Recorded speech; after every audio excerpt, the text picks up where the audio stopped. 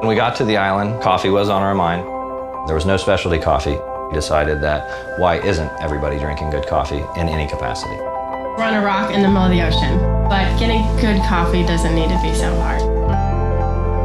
Our belief is quality in, quality out, no contradictions. We have four modes of transportation on this island in which we get our product around. We have a, an Astro van that's a 92 all-wheel drive. We have a ferry boat. We have a seaplane. There's a particular donkey that we use sometimes over in Virgin Gorda. However it works, we try to get the product to where it needs to go.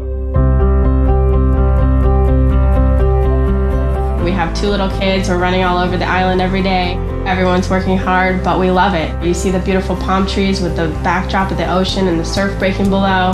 So we love it. This is our home, and this is where we want to be and start a life. Um, and this is where our coffee is inspired.